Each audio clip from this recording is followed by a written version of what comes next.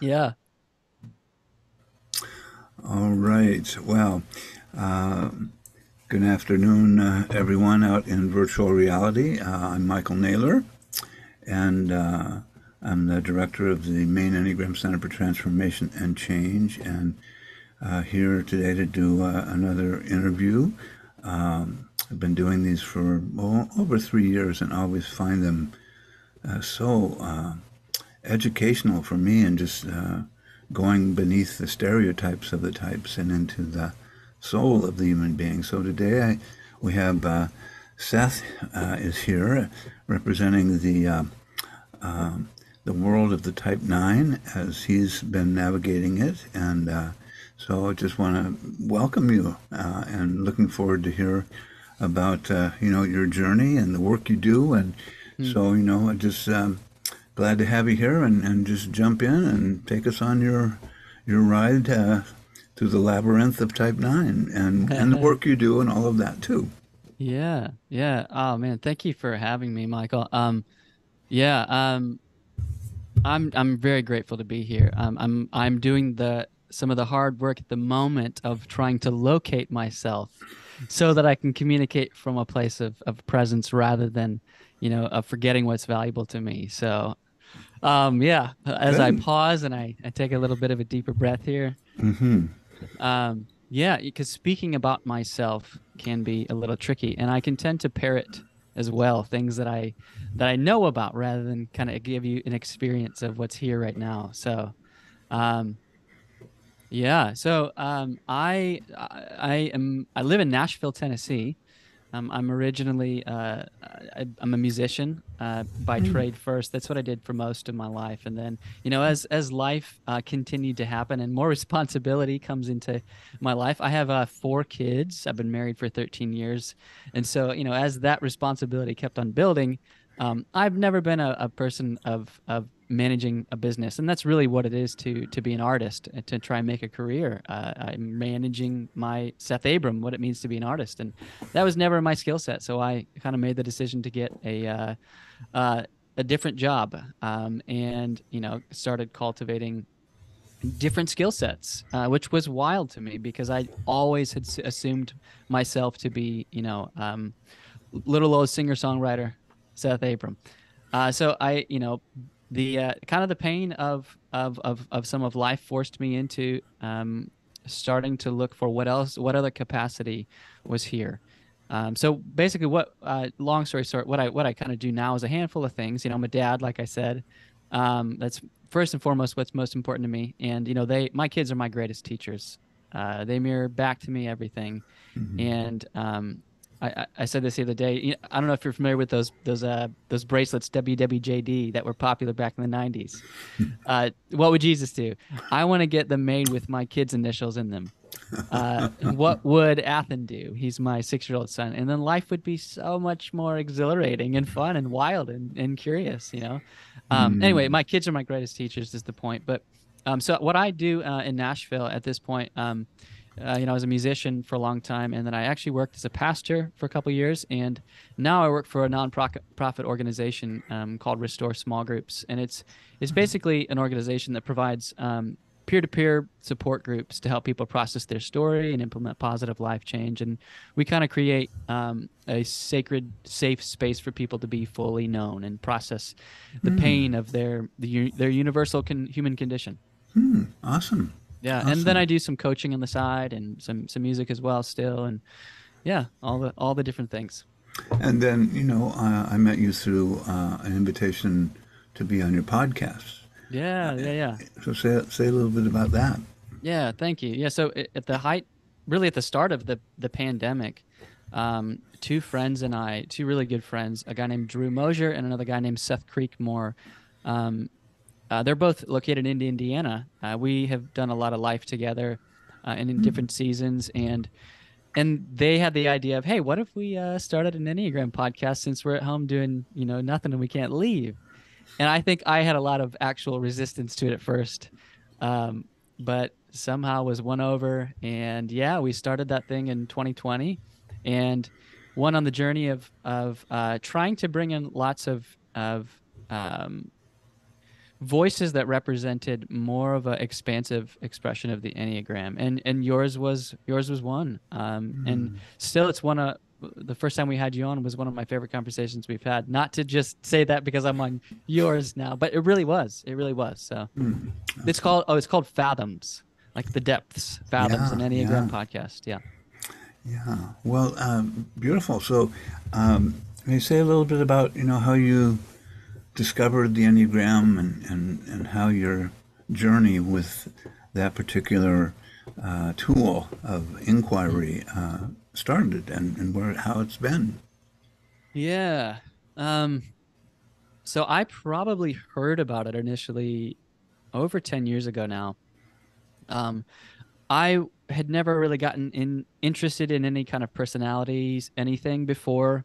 Um so how it was initially presented to me in this this home was you're this and uh these are your behaviors and I felt like I'm being put in a box. I don't like that. That's uh, so forget it uh, I just was turned off right away. Uh, and then, you know, I just um, back then I had a bit of a different uh, outlook on, you know, just the symbols that were that were showing up as the enneagram. You know, and I was like, well, that doesn't seem uh, like something I should hold. Um, but you know, my I've I've grown a lot since then and I hold different views. And and uh, so probably around six or seven years ago now, I. Uh, uh, found myself somebody paid for me to go attend an enneagram event here in nashville and so I, I showed up to that reluctantly. And I just remember the second day sitting in the middle of this room and it just hitting me like, I, I think I'm going to do something with this the rest of my life because it was so striking because it named, you know, as a lot of people tend to say, right? It named something so true of me um, that I thought I had covered up um, that I didn't, that, you know, I felt exposed. But also, even more so, why I, I knew I wanted to take it from there and do something with it the rest of my life was because what what it was doing for me in that moment was it was helping me see that I had potentially I um, limited myself to a very very small capacity, and so I began to be kind of taken over by this idea of what else am I capable of? Hmm. What can I do? What else can I become? What else is here? What have I disowned in myself that I'm unaware of that I can reintegrate and become more whole with? And and so that's that's where the why the enneagram became so important for me six or seven years ago. And um, when you you know were wrestling with and coming to uh, seeing your type hmm and maybe seeing things you hadn't quite seen before uh, that were articulated about the type, like what what were the kind of uh, sort of wake ups that you had regarding your patterns? Yeah. I would say, um, um, you know, this um, sort of diffusing my attention um, so as to not know what is valuable and important to me Mm-hmm. um, was a very common um, sort of coping mechanism. Um, in that, especially in um, around other people, um, I found myself, um, yeah, not not knowing what I valued. Uh, it was very it was very difficult, and that was something that was named um, in that in that setting. But also, um, this this quality of kind of a an unwillingness to feel things too deeply definitely named something about me. I, I've ex, I've sort of said in the past that life feels like um, the intensity of life hits me, or it hits first this invisible wall, and I sort of feel this small affect, and so that's how I kind of express in the world. That's how I can express, and so a lot of like my um, practices in, in the past have been to you know uh, sort of practice being expressive, overly expressive, to see what that feels like, to see what else is here, you know. But you know, a lot of times in in certain arguments in the past, uh, uh, people would say, "Do you even care about the topic we're talking about? Because I can't tell. Does this matter to you?" Mm-hmm. Um, yeah, that there's that's another aspect. Um, I'm sure there's there's plenty more. You know, I mean, a lot of what has what sent me early on into therapy was, and uh, like for my wife and I would would be she would bring up, you know, I don't feel like he's showing up. There's a quality of of like Um, I can't tell if he's if he's here and this if if this matters to him and, and what it looks like. And and for me, that was just naming. Um, you know, I, I think uh, a common understanding of type 9 is that we're afraid of conflict. But I think personally, experientially, there's something even more core to that, Mm. in that what I'm more afraid of than conflict is the significance that I have to bear and Oh. um, and embody in order to face regular life or anything that feels conflictual. Interesting. Well, that, that's a great, uh, great insight. So, um, I uh, imagine it. It's like if I, if I, you know, sense who I am and what I want, then there's like this heavy load I must, you know, now act upon and carry out into the world. Yeah. Uh, and uh, and so that's interesting. Uh, it's like uh, a, different sort of different take on it, uh, and which is great. I, I, that's what I really appreciate about hearing from the types. But um, so uh, when you started to sort of become better at sensing who and what you wanted, and you know, uh, uh, started to you know trust that it would be okay for you to be the significant being that you are. Mhm. Um, and I know this is a, a work in progress, but uh, what what what did you notice? What was that like for you to begin, you know, trying to show up? Yeah. Um,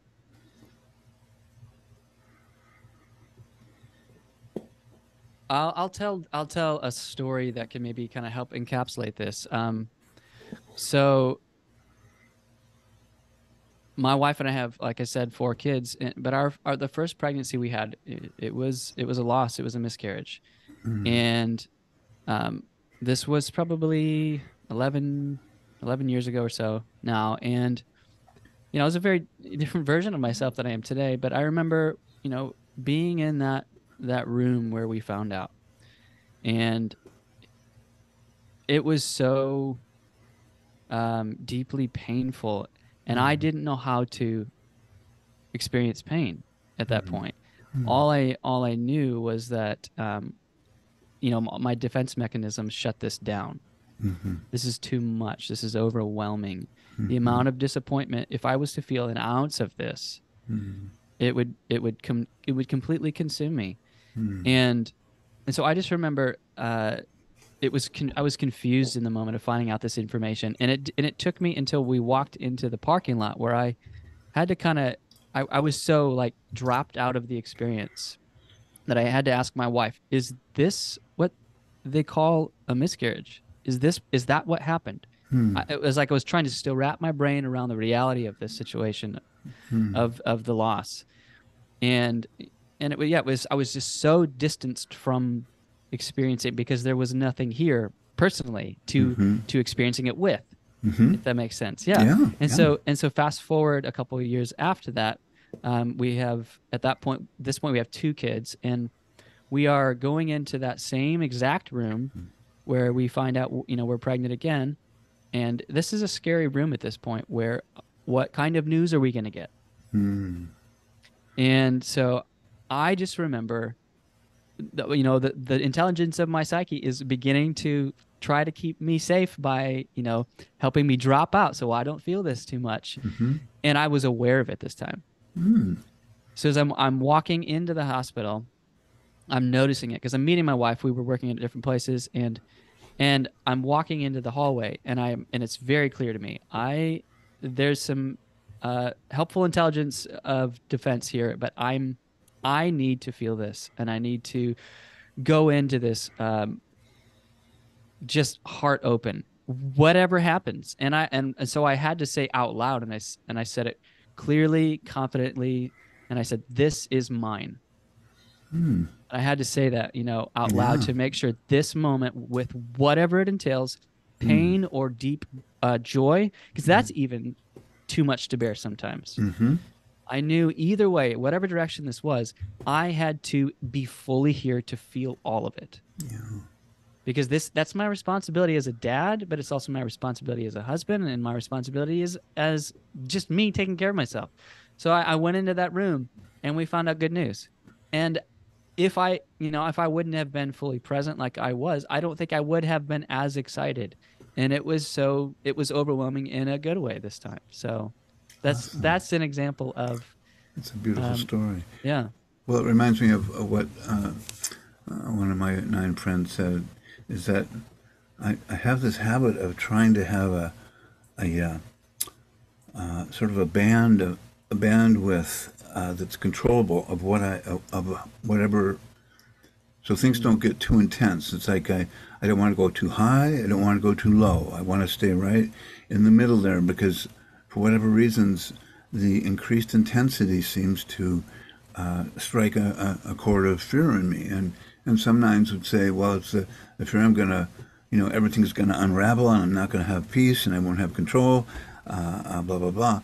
But they they're you know not only do I try to keep you toned down when you're coming towards me, but I try to keep myself toned down so I don't overwhelm myself. So it sounds Yeah. like there's bits and pieces of that that you experience. Yeah, and I would say for me that had to do with embodying my regular human significance Yes.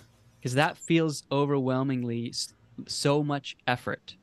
Like so I, at my like most unhealthy in the past, I just to even wake up to be a person, it means to be significant and make choices Yeah. and have opinions. But you have to be a significant person that's present to do that. Um, yeah. Yeah. Well, and sometimes the inner critic of the nine is one of the guardians of making sure you don't become significant or embody that, which is hmm saying you're not significant. You you don't. You're not that important. You Yeah. should. Uh, so.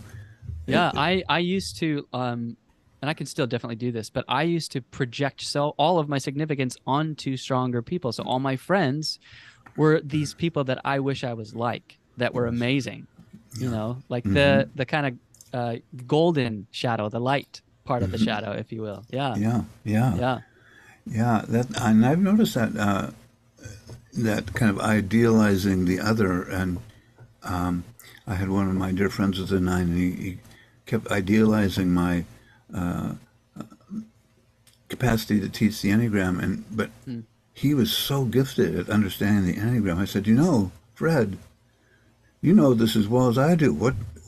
Why aren't you up here teaching too? And Right. and it's like no no i think it's in your hands so there's just that sort of uh, and and then, you know there's uh, a double edge to that too i think is nines are often very good at seeing the best in others and calling it forward and you know when i'm healthy i notice it in myself and i come forward too and join the party so um, so in terms of you know sort of getting in touch with what you wish for and what you want um, how has that evolved i mean how you know, he talks about, you know, you're starting, you've started embodying, feeling, sensing your significance. I'm really here. Um, and, and so I'm, I wonder if you could say a little bit about how that's unfolded for you. Yeah, I appreciate that question. Um, uh, you know, I started the conversation with um, I've I've learned to figure out how to locate myself. I used to say the more of me I give away, the less of me there is, and you know this this sort of focus attention a focus of attention that we have on other people and other, what's valuable to other people is what tends to cloud my ability to know what's important to me uh, because mine could be in opposition to you or it could overshadow you or you know i want you to feel accepted. Um, more than me. Everyone is always more important. Um, but that that meant at least in the beginning i think the first part of the process meant i have to distance physically distance myself from people.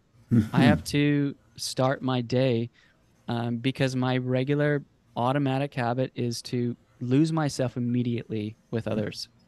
Great. um, so i have to first locate a part of myself that is grounded so that i can have something that i'm holding first before i'm with other people Yeah. um, and you know one of the most important things for me and i would say that would be having located a significant part of me that's what that's what that means locating something in me that is significant um, And could you uh, name that or like, uh, is that a quality of being or is that, is it a sensation? Uh, what? How do you? Yeah, um, it, I think it is um, experiential in that it's it's it's about.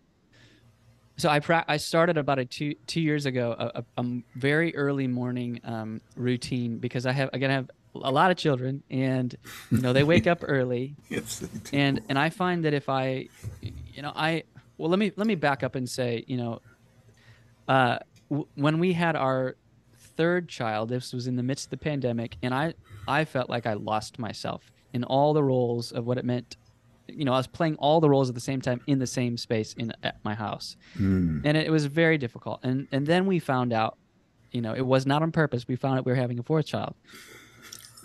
And i just remember thinking oh my gosh i lost myself the last time we had a child. Mm, what is it going to mean? How am i going to manage the amount of responsibility of, of four kids. And i i just knew um, that i needed to cultivate 3.0 seth. If i was going to figure this out. And it, i know you're familiar with um, like just uh, I, I think i'm getting this right the gurdjieffian kind of theory of shocks. And this was a shock. This was a major shock. Mhm. but along with it innately came this kind of um, uh, am- new ambition and energy for what else could be, what could happen, and what um, what what else is here. So I I started to like see a vision for myself of who I wanted to become.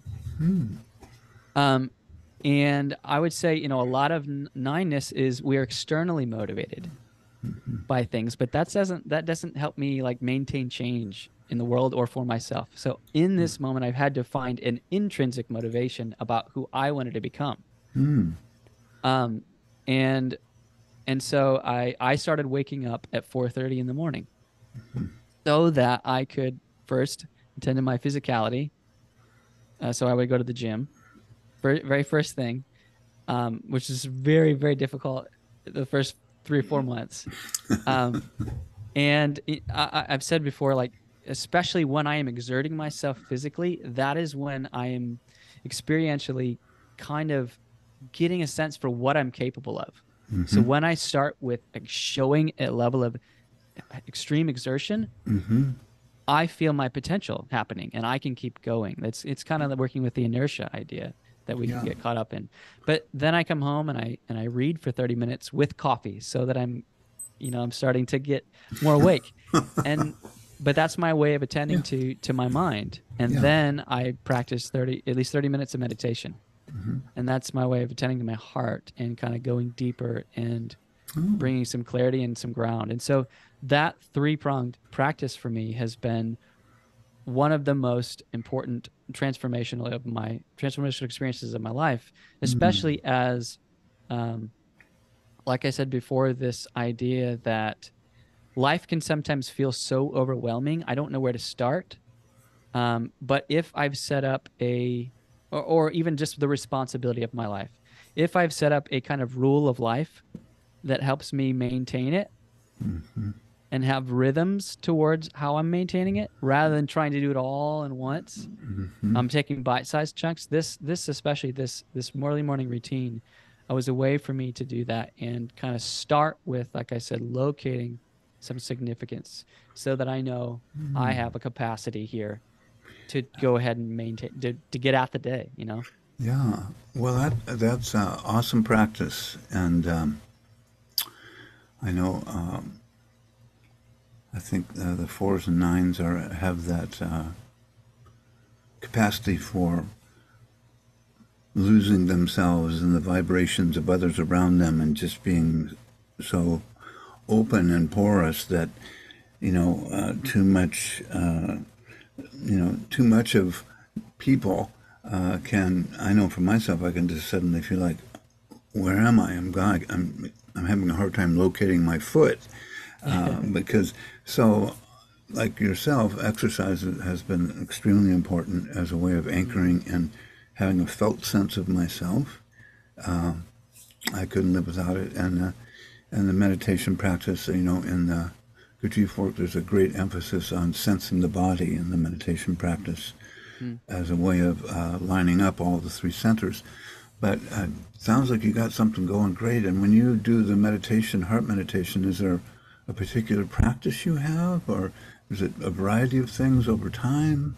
Um, I, uh, you know, very uh, strategically, I I would I use uh, when I first started this morning routine. I started with meditation, and I kept on falling asleep, Mhm. which is why I had to go to the gym first and then drink coffee. Yeah. Um, but still, some mornings it's just so difficult because it's very early. Um, hmm So I tend to use a lot of guided meditations. Yeah. So I'm hearing something still, Mhm. and there's a lot of space. But one of my favorites is um, I use a lot of Tara Brach meditations, Yeah. and she leads through, um, you know, more vipassana. Or Mhm. I love her kind of three um, kind of step process where she does kind of the uh, what is it? Arriving, Mhm. anchoring, and opening. Yeah. Nice. Yeah. Yeah, yeah, great, awesome. Yeah, well, I can imagine, you know, in my experience with nines is they're, they have a, a pretty great capacity for staying positive in the midst of things going crazy. Mm. And, uh, and it's a gift and, and also it can be an escape as all of our capacities are. Right. But, uh, I, you know, uh, having that being able to sort of conduct or you know that energy of laid back easygoing it's safe here you can relax uh, you know you don't have to be anybody in particular just be yourself it is such a beautiful gift uh, and uh, i can imagine that you employ that quite regularly with four kids buzzing around and and uh, uh, so so what you know say a little bit about your experience of that Yeah. capacity Yeah, um, especially with the kids, and even just you know, as I said before, I was a pastor for a couple years. Um, uh, I'll say as well, like through the whole, like my whole life, I've had multiple people introduce me as their best friend, and I'm like, what? I didn't know we were best friends, I, and I'm like. You, you actually don't even know much about me. It's just that I'm such a great listener and I hold such quality space that Mhm. people feel naturally seen even Yeah. if i'm not actually super present you know i'm kind of dropped out of the experience but i hold space well you know? Yeah, and i've literally been introduced to someone's best friend and i was unaware that we were best friends you know? That's so yeah there definitely is that sort of even natural quality that i'm that doesn't even um, yeah it's it's definitely natural but there is a um, something that's always been so important to me is helping people feel completely and fully accepted yeah. Um, and I also think that is what uh, you know. I've had um, for as long as I can remember, people tell me things that that they wouldn't normally tell other people, yeah. And I think that's uh, you know it's an affect I kind of give off without sometimes trying, but it's uh, just a, a, a way of me of being for me, and um, I think it helps me be you know I'm, there's a reason I'm drawn to these kind of vocations that I have been as a pastor and as as uh, someone that sits with people in their pain, their difficulty, and people feel they can naturally come to me and say things that they wouldn't, they've never said out loud before to others. Um, and the funny thing about that is, we know we tend to give our gift, but not to ourselves, and um, um, that's like that's the thing where I I'm still practicing um, acceptance uh, toward myself in the ways that I uh, you know I'm so good at doing that for other people. But let me let me just also say you said like sometimes um, this is quali- quality of positivity or even kind of this reconciliation idea um, a reconciling point maybe that that uh, we can have that I um, can overdo it to the point where this is too much and so I shut it down actually too quickly before there's actually any reconciliation here. Uh-huh. I'm, it's like an immediate let's just make it feel peaceful even though we haven't done anything yet. That's So- great. yeah, so like even uh, with my kids who I'd probably feel the most safe with, right? Um they it can it can look a bit different than how it would with any with most other adults where um there maybe there's a level of intensity that's happening here that I don't want to happen and so I can actually shut it down in a not in a way that I'm avoiding it or trying to get positive about it, but because I feel so safe with them, I can get like stop doing that because you're messing with my homeostasis. you know. Whereas with other people, it wouldn't be in that way. I wouldn't actually be assertive about it, right? But it's a different it's a different expression uh, of of how I'm trying to maintain some level of of uh, tranquility that you're you're messing with, right? Well, uh, as one one of my nine friends says, the bottom line is I don't want anybody to mess with my peace. yeah. So, if I have to do my Jedi trick of emitting peaceful energy into the room to quiet people down, I will do that. Yeah. Now that that isn't necessarily in the service of real deep peace, but it's about Right. taking care of my uh, my uh, heart and soul. So you know, I think it's uh, it's like learning to know when, because I think that that capacity to be, you know, and that wish to help people relax and settle and feel accepted, and you know, I think nines can really transmit, like the twos, a kind of unconditional loving kindness uh, towards people, and and uh, and there's so it's like I have to. Th- That just seems to be like uh, an innate part of their soul, you know, a real heart quality of just, you know, I want to bring, uh, I want people to relax, settle, feel like it's safe here. They can tell their story. They're, they're, uh, you know, it's like you're a safe harbor for people, which is reminds me of, uh, you know, Fred Rogers and uh, and you know, just just uh, you know, kind of a crown jewel of uh, of the nine energy, and and then noticing like all great qualities can be used to manipulate things to protect yourself, right? You know, what, Yes. what one of my teachers said, all great spiritual truths can be used to lie extraordinarily well. So you got to know the difference to when you're, you know, really giving something or when you're, you know, weaving some really spiritual BS. Uh, So I wonder, Absolutely. yeah. Yeah. So, uh, so how do you, um, uh, in terms of you know working with your beloved wife, uh, does she sometimes play the role of a one who red, waves a red flag when you're going into, you know, disassociation nine pattern, or I mean, do you have uh, any kind of uh, communications around supporting each other? Um, yeah, you know, I mean, it's we've we've been together, f- married for 13 years this year or this month actually. Oh, I need to go get her something. Um, um, uh, this month, holy cow. Yeah, um, yeah. So we we definitely have learned a lot of styles over the past. You know, initially, um, she we we are very. She's a type one, um, uh, self preservation. Mm. Um, and I remember, uh, I that's I'm indifferent to anything that has to do with self-preservation. like some of our earliest conflicts, I know this sounds strange, uh, and some people might judge me for this, but I didn't like showering when we first got married. I could go for long periods of time without it. and for her, obviously, as a as a one, that's like this isn't okay and there's something wrong with this and yeah probably there is but but you know like initially that i felt more shamed into showering you know? Um but but yeah no we've learned a lot of valuable things around um first off kind of you know one of the most i think most valuable things the enneagram can allow for is is um valuing diversity of perspective right?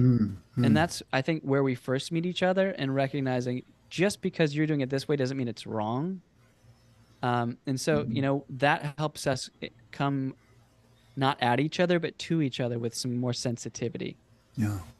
yeah Yeah. yeah And so um, I'm chuckling about your self-pres story because I've got many. I've uh, that particular zone, that particular uh, instinct is not Yeah. my strongest, except yeah getting to the gym and working out and all of that. But um, yeah that's definitely been a major new practice for me so, oh, good. Oh, good. Yeah. Yeah. Well, so um, you know, type one self-pres. My experience with them is they tend to they have a passion for order and cleanliness, and uh, aren't usually big fans of messes left untaken care of, and but Yeah. you know, really, really spot what needs to be done in, in the environment, and there's a great passion for it, and and uh, so you know, I always think of that dominant instinct as kind of a survival instinct when it's when that particular need isn't getting met. You know, people get really rattled, and uh, you know, self-pres for one. You know, my uh, my husband isn't uh, showering. This could threaten my existence. I don't think we're Yeah. going to be able to do this. Yeah. so uh, Yeah. And it was bugging her on an instinctual level. It wasn't just. yes, Yeah. Yeah. Yeah. Yeah. yeah, yeah. Her uh, radar was going up. You know, the tribe may die because of this. Yeah. Um, so is is your dominant instinct uh, social? Is that the It one? is. that, Yeah. Yeah, because you're uh, quite, you know, quite gifted and articulate, and Hmm. you know, able to respond and go and flow with conversation, which is really, really a Oh, beautiful thanks. quality. Yeah.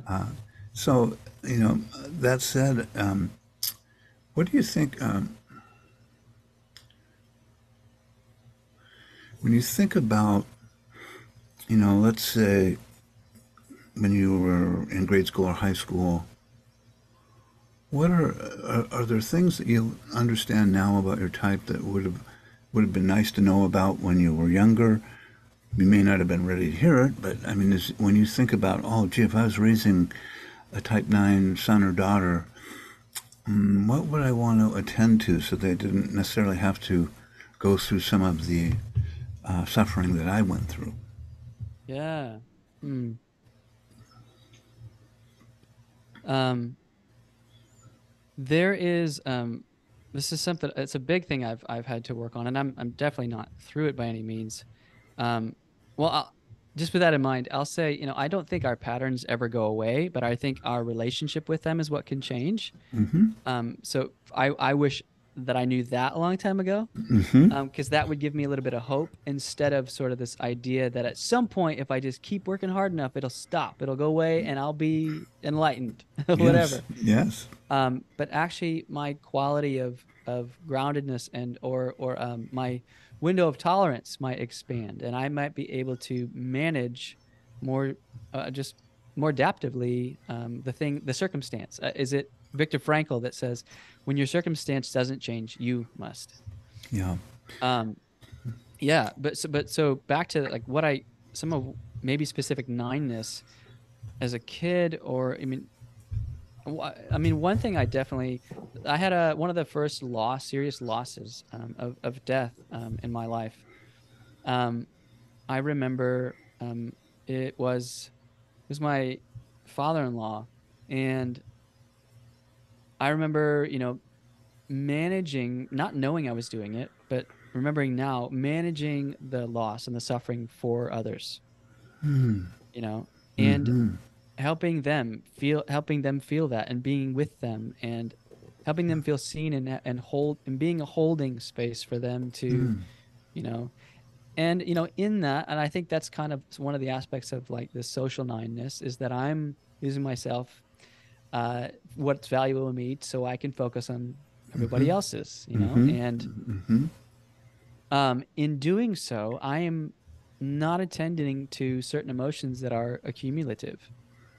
And so they're building and they're growing. And that means I have to push them down even harder and suppress them even more. And so. I'm actually losing energy and I'm losing the vitality of what it means to be present and actually continue to help be with people well. Mm. Um, and I remember it wasn't until a couple days later, after the after the um, he had passed, we were at the funeral, and all of a sudden, I saw my own friends show up, and it actually it actually brings up some emotion to me still, Mm. um, because it wasn't until my own friends showed up for me that that named I had pain too. Mm. Yeah. And I think that's okay. And I think that's a really good thing to name. Sometimes we're not able to locate what's important to us, and we need somebody else to mirror that back. Yeah. Because I can get so lost in what other people, what's valuable to them. Mm. Um, but their presence mirrored to me that I had my own wounds as well. Mm. Um, and yeah, I mean, that names a lot of my painful story of not feeling like truly seen as a kid Mm-hmm. and in my own wounds and you know there's i don't know if you're uh, if you're familiar with uh, i'm sure you are there's the concept of like uh, attachment like a secure attachment. Hmm and i know dan siegel talks about the four s's safe seen soothed and secure. And i love what he says about feeling seen. It's a quality of feeling felt. In that my parents my primary caregivers were mirroring back to me so that it would substantiate something in me. And i don't feel like i had much of that growing up. Yeah. and so now for me that really happens uh, some of my closest people mirror back to me. They help me locate what's inside. Yeah. and I, That's I would just say that's really a, okay and a good thing for you to to be able to find yourself in that way sometimes. And maybe even ask your closest people to help you do that as well. Yeah, that, uh, that that's awesome. I, I have the same experience uh, for myself that you know, loving friends really helped me locate myself when I couldn't. You know, I, if I hadn't had them, would have never happened. And uh, so that's that's powerful. Um, and and worth. Um, you know, um, my daughter is a type nine, and I didn't know the Enneagram when, when she was growing up, and she always seemed fine. She's always happy and joyful, and and then we learned when she hit about nineteen or twenty that you guys, you know, you didn't notice that I was really needing support, and I said, "You're right. I missed that completely. I, you look like you were just self-contained and going yeah with the we flow. look great You look great. You had no needs. yeah. Yeah. you were easy Yeah. to take care of, and uh, Yeah. and then your brother was just off the wall, so we were trying to work with him, and so that was really uh, that was a, a powerful uh, recognition for me that uh, i just got- had another thought if i could share it. Yeah, yeah, please um, do. because this has been my my I have a not my nine year old my oldest um, we're pretty confident is very likely 9 um and I I know I would definitely caution against typing kids but having the experience myself as a nine I just I, there's a lot there and I'm still holding it loosely but there's a lot of proof. Anyway um one of the things that I I wish would have happened for me that I'm trying to do for my own daughter now is you know there's this there's this um and it's in a lot of materials like your voice matters right is the nine the nines don't know their voice matters. It's but it's not enough. It's not enough to tell a nine or your kid your voice matters. Because it's super easy for me to just go thanks whatever. That doesn't that that doesn't mean anything to me. Yeah, you have to catch me doing something that's significant and call it out. Hmm. Only someone that's significant could be doing that or think that way or hmm. feel that or talk like that. Mm-hmm. Oh, I'm doing something significant. My voice does matter. That's how I begin to experientially experientially like embody that. By you again, this is where you help me see it in me.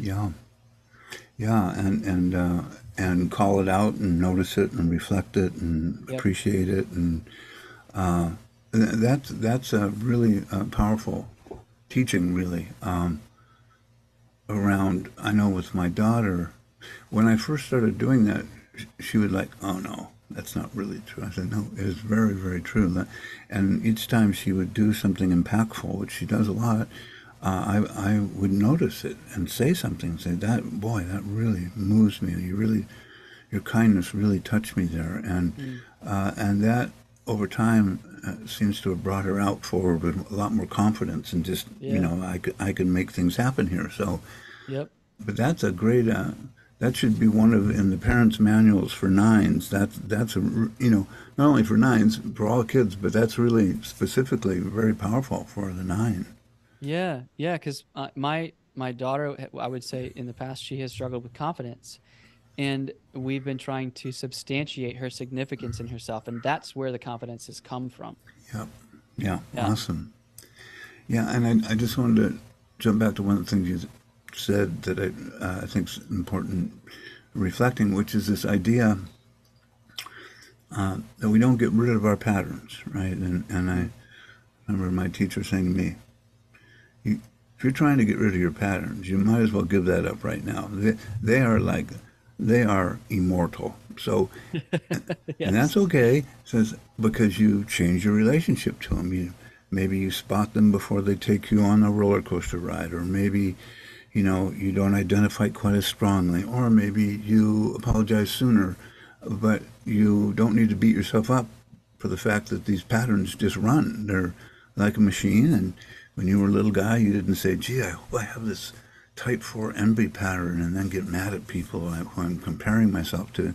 So you, it's just a pattern, and uh, Yeah. and so I just wanted to, you know, sort of support that because I think that's really a powerful teaching uh, around the idea of uh, enlightenment that you get rid of all these patterns and Right. and um, doesn't, as far as I know, it doesn't quite happen that way. So uh, Yeah. yeah, Yeah. and, uh, Yeah. And I think that's closer to what rea- enlightenment is likely to be, actually, is when you realize um, I can learn to operate not from within the emotionality, the, the activation of my emotions. And so I'm reacting patternedly rather than I'm, um, I feel the emotion, but I'm not getting caught up in it. I'm operating alongside my patterns, but I have more space to, for choice. Yeah.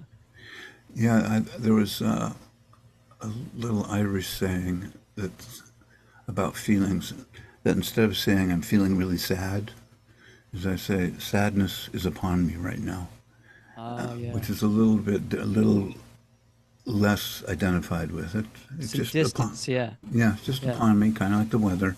Um, yeah, so um, the the nine, you know, the story we talk about that the nine, one direction is towards three, right, and becoming able to shine and radiate your significance and and feel your passion and go for it, etc. Mhm. And uh, sounds like you've done a lot of work with that, uh, and and that doesn't, you know, it's the idea to me that you start to sense that three energy and feel more a sense of your empowerment and your importance and your significance. And that actually, I think, allows that deeper quality of being the peacemaker, one who, uh, you know, helps people settle and feel safe, even come more alive and vibrant. If I'm, so anyway, what, Yeah. anything you want to say about that? Yeah. Um, um, one of my practices um, that I've done, I, I, I will say, you know, I've, I've, I've been working for at least in different seasons of life a, a lot on this kind of stuff, you know, Mhm. and this has been a long process. I, will say that first. I think any real transformation is a process. Um, and is it, um, uh, it's the guy that wrote the book Atomic Habits. He said, We don't rise to the level of our goals, we fall to the level of our systems.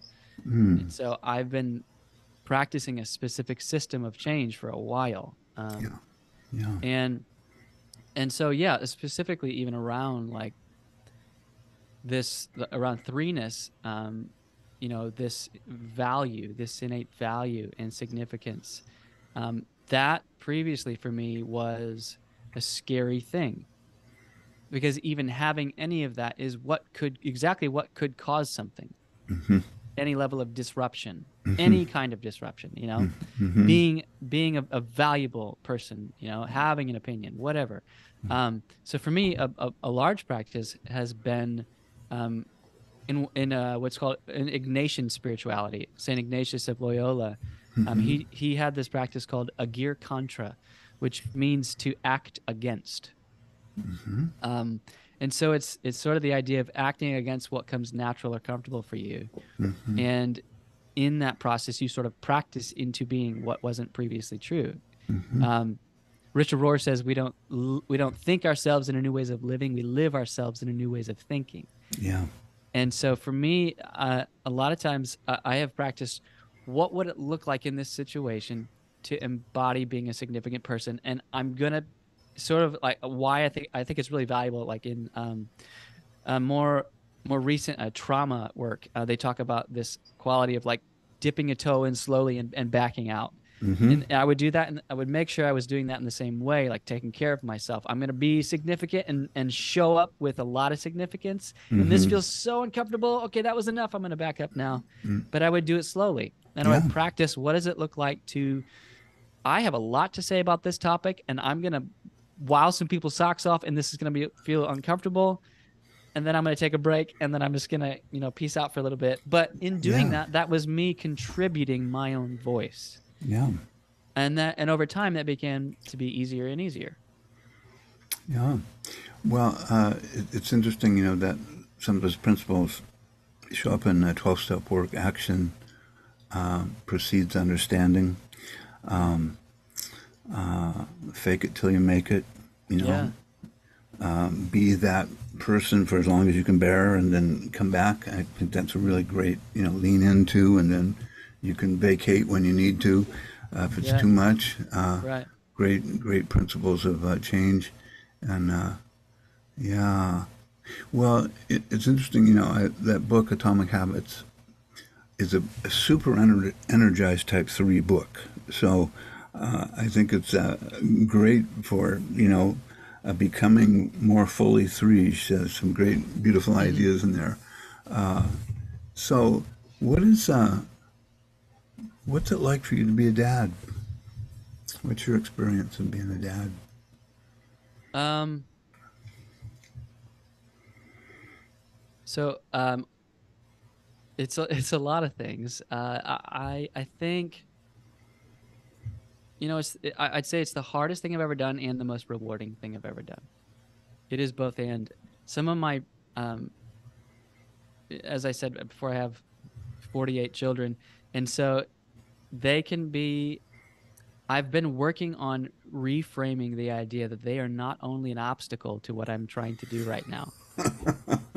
They they can be that, but they are also an invitation.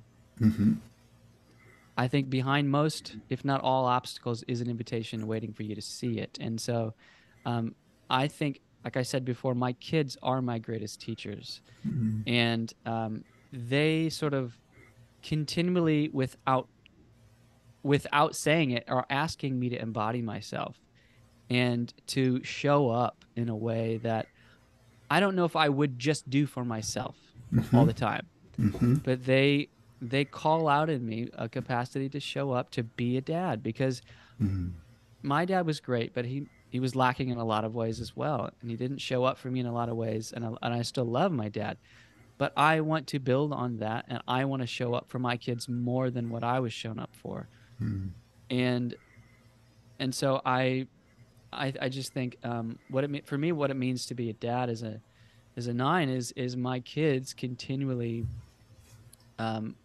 are invitations to uh, see what it means to deeply participate. Um, every day is as long as I'm up for it, and I, I'm not always. But I mean, that's the thing though. They're little kids. I have to always be up for it. uh, thankfully, I have a partner in crime to to help me with to help Yeah. to assist with that. But, but yeah, you know, it is this invitation every single day. Um, how can I show up today? What does it mean to to to become that guy that my kids need? Um, Yeah. yeah. Yeah. Well, you are. Uh, what are the ages of your kids right now? Um, nine is the only, and she's the only girl. Um, and I have a six-year-old, a three-year-old, and a one-year-old. So you're you're in the foxhole. I mean, this is uh, this is uh, the most in pressurized uh, time. I think. Uh, at least Yeah. that was in my experience. It was. It's like, do I have a life? Uh, well, I know, I know I, I have one, but I, I'm not going to get to express it the way I think I would like to today because there's these living beings who need my attention and want my attention. And uh, Yep. so that was, uh, and, and I'm so grateful for that experience because it, it taught me so much about myself and just about what I care about. But it was, it was hard, um, you know, Yeah. getting time to, you know, go off on any kind of you know, creative jag um, was hard to make that time. And, and um, Yep.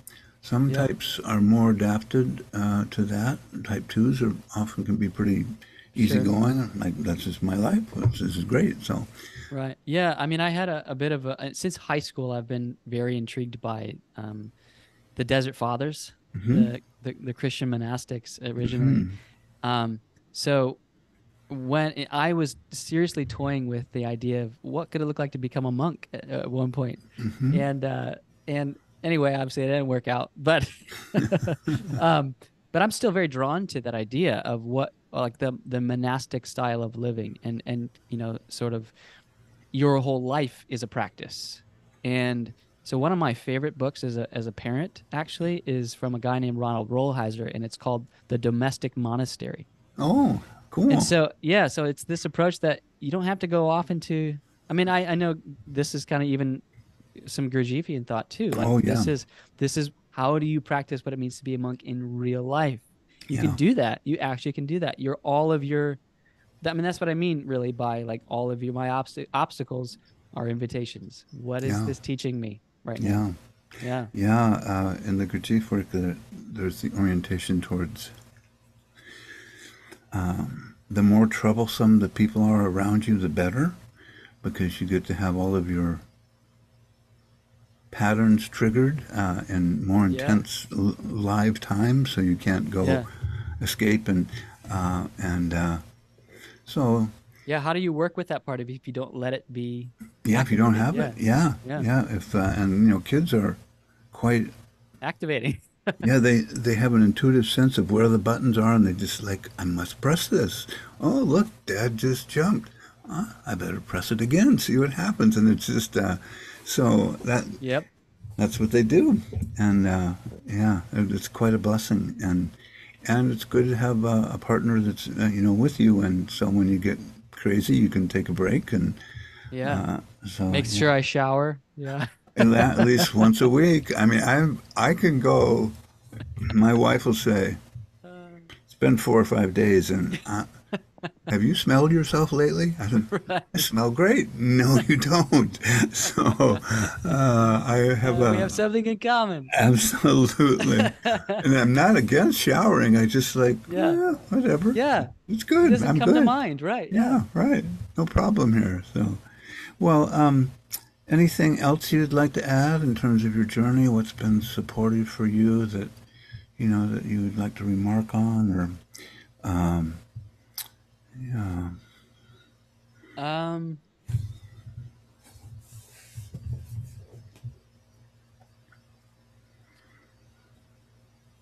Yeah, uh, one of my, I, I I read a lot, and so I think in quotes. And one of my favorite quotes about transformation is a guy named Murray Stein, who um, he says, transformation um, is not about getting something you didn't previously had. It's about tapping into latent qualities that are already there. yeah, And I would say to any nine listening, you have what it takes to live a, a fully embodied life. You already have what it takes. It's it's uh it's but it's it's within you and it's it's in you. Yeah, yeah, and it's a for me it's been about the idea that reality has sort of set up that we are healed by our wounds when we share them. hmm And there is a quality of ambition and uh, and energy and uh, motivation um, in feeling the thing I don't want to feel. And that's where I'm going to look for, or that's where I'm going to locate um, uh, even the space to not keep losing myself. Because that, as much as it's easy to do that, no nine likes saying yes out here and when they mean no inside. Yeah. It is at some point in time it becomes so aggravating and shameful and and I'm I'm so frustrated that I, I just did it again. Mhm. Um, but yeah, I'll, I'll I'll just say that means you're angry. you are angry. You are angry, whether you realize it or not. Um, and the more you suppress that, the less energy you're going to have to keep to show up in the world. Mm. Um, Yeah. So find that aspect in you, in you, and sometimes it, I would say it has to do with getting inhabiting your body. Yeah. Yeah. Yeah. Well, uh, beautiful teaching on the nine. Thank you. Thank you. Really a pleasure to hear about your journey and just uh, the depth of it and the, you know, the subtleties. Uh, just really uh, can feel, you know, the investigative zeal you bring to looking at Yeah. things and understanding them, which is really beautiful. So, Yeah. uh, yeah, thank you so much. Really. Uh, Yeah. Thanks for having me, man. Very grateful. yeah, yeah. Well, many blessings to you, and I'll turn off the recording here, and then we can uh, uh, maybe debrief. Now, if I lose you,